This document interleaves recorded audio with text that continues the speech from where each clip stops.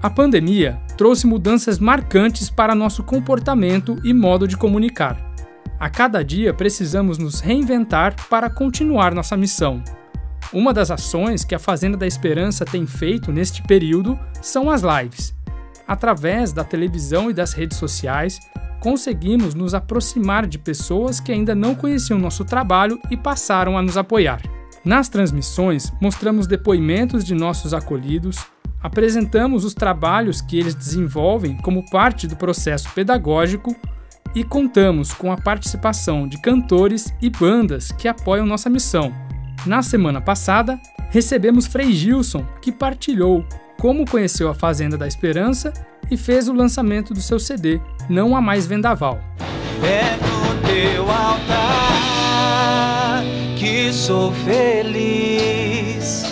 É o teu altar, o meu melhor esconderijo, distante das multidões, em solidão.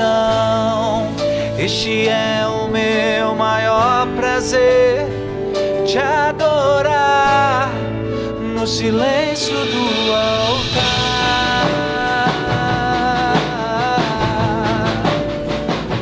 Fazenda da Esperança, São Miguel, em Lagarto, Sergipe, recebeu a visita do bispo de Estância, Dom Giovanni Cripa. Ele celebrou a missa, na qual foram crismados quatro acolhidos, e um concluiu seu ano de recuperação. O momento foi animado pelo grupo Esperança Viva. Após a missa, Dom Giovanni passou um período de convivência na comunidade. A Fazenda da Esperança de Redenção, no Pará, comemorou recentemente seis anos. Para celebrar esta data tão especial para a região, foi celebrada uma missa, seguindo todas as normas de segurança por causa da pandemia. Ribamar, um ex-acolhido, contou a sua experiência. Porque a fazenda está aqui para nos ajudar, para nos ensinar. Então nós temos que praticar lá fora o que aprendemos aqui dentro. Porque está aqui o responsável, está aqui na fazenda, é para nos ajudar, para nos, nos explicar. O meu responsável me, me, me ensinou muito a viver, eu também quero agradecer ele, o Reinaldo, uma pessoa também muito maravilhosa.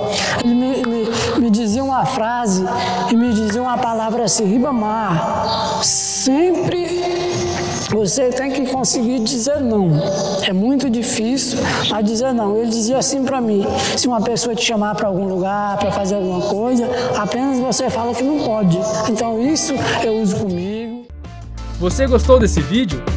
Inscreva-se, curta, compartilhe.